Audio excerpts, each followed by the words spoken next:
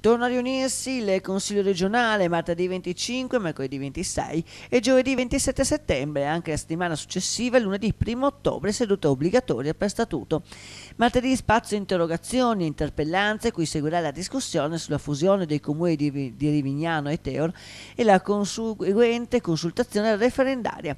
Mercoledì question time a inizio seduta, quindi l'Aula proseguirà l'esame del provvedimento sull'energia e avvierà il dibattito sulla nuova legge sul volontariato. Giovedì ancora in apertura question time, in apertura dei lavori, quindi conclusione della legge sul volontariato ed esame di altri due provvedimenti sulla prevenzione del gioco d'azzardo e sulla valorizzazione delle strutture alpine.